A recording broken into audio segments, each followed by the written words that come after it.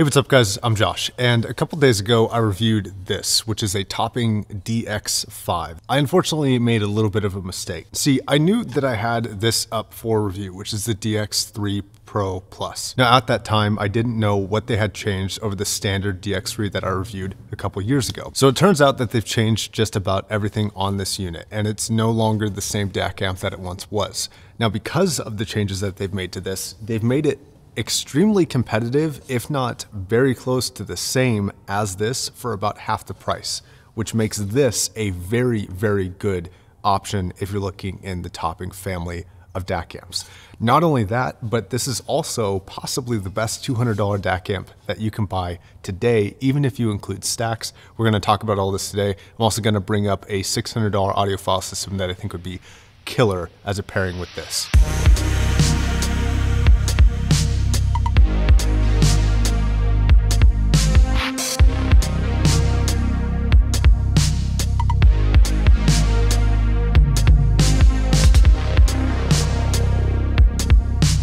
So let's talk about the old DX3. I reviewed this thing a couple years ago and this new one has almost double the power going from 1 watt into 32 ohms to 1.8 watts. They've also internally changed from their old school amplification style to their new NFCA tech, which is again featured on that DX5 and is again on most of the modern new topping amplifiers which is a great improvement over the previous generation. Much cleaner signal, better dynamic range, much better specifications, uh, the measurements for this thing are insane for a $200 DAC amp stack like this. Now, one thing that they have done is they've changed the DAC from an AKM 4493 DAC chip to a QCC 5125 chip, which again has improvements for DAC specifications.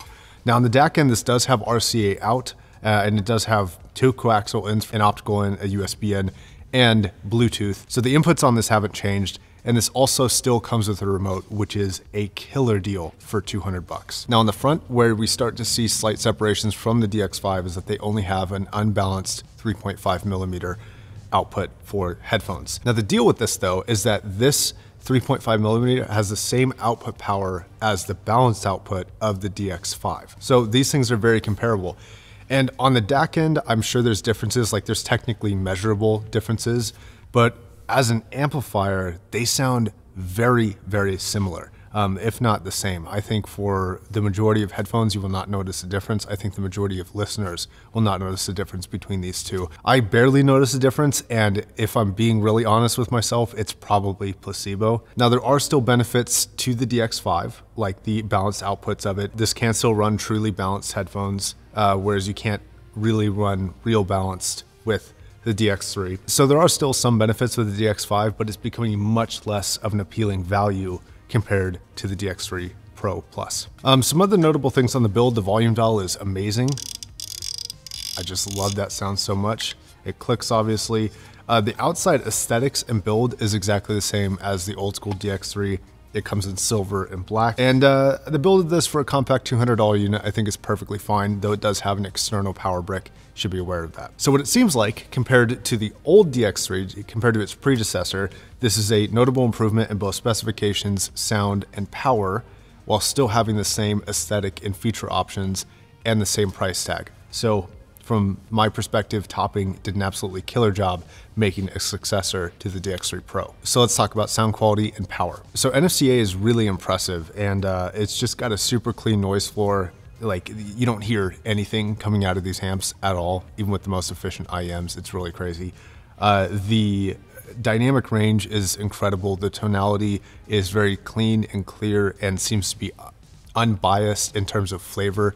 So NFCA stuff is very, very good. I don't think that the DX3 is any exception to that. Explaining the sound of NFCA is um, kind of like explaining what glass looks like. It's kind of difficult. Now, before I get into the audiophile build, I do want to compare this slightly to uh, something like a Magni and a Modi stack. Now, the Magni and Modi stack, especially if you include the price of an RCA cable, will actually cost quite a bit more than this relative to its, its total cost. You also will not get Bluetooth. You will also not get a remote. Um, and it's going to be a stack, not an all-in-one. I think stacks and all-ones appeal to different people. So that may be a benefit or drawback to some. You also get to save yourself from having two power bricks with this. This also has more input options than the Modi, and some of the specs are better on this unit. It doesn't quite have as much power as the Magni does, but I think the signal is cleaner, and I think this will run things like IEMs a little bit better, as well as some middle range planar headphones like uh, some really efficient Audezes or the new Hifiman XS, for example. So I think this versus a Magni Modi stack is actually looking like a better deal to me personally. This is the one that I would personally pick. Another comparison, if you already have a DX3, is it worth upgrading to this unit? I'd say if you're willing to sell your old unit and make up like, let's say a hundred bucks of that, only costing you out of pocket a hundred bucks to get this, yeah, I'd definitely do that. Uh, this is a notable upgrade. Um, this is a very, very good amplifier for $200. So I want to bring up an audiophile build that will cost you about $600, but will give you just about everything you might want from your audio system. And that's going to be two headphones. One is closed back and one is open back.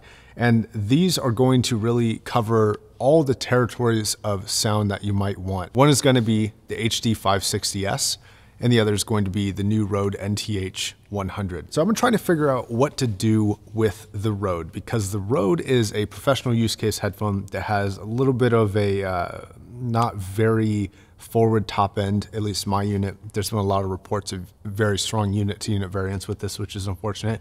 But it's got excellent mid range and excellent bass response, but a slightly smaller soundstage. Now, the NFCA stuff, in my opinion, has excellent top end control. And so I think that a headphone like this really benefits from that top end control and that clean tonality, especially if you're going to be using it for professional use cases. That DX3, I think, really helps with this thing's uh, existing shortcomings. Now, for about 150 bucks, this is a well-built closed-back headphone with good isolation.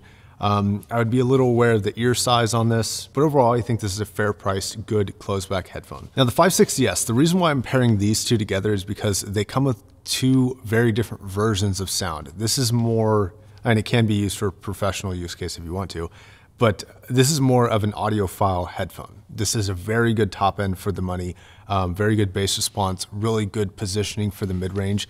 Not quite as full and textured as the NTH is in the mid range, but it's still very, very good.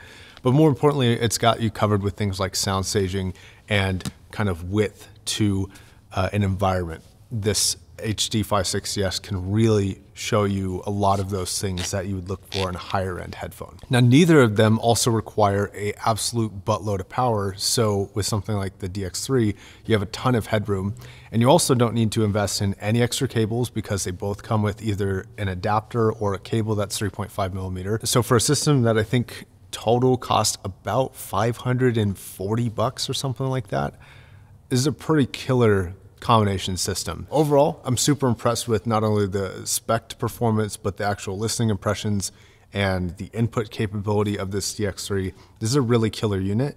The only drawback that you might have, and again, this is probably a totally fair compromise at this price range, is that it doesn't have a absolute ton of power. So if you have a super inefficient headphone, things like the old school HE6s or something like that, things that aren't really relevant to most people, you may want a little bit more power out of this. But for the vast majority of headphones, this is going to be plenty. All right, guys, thanks a lot for watching. Bye.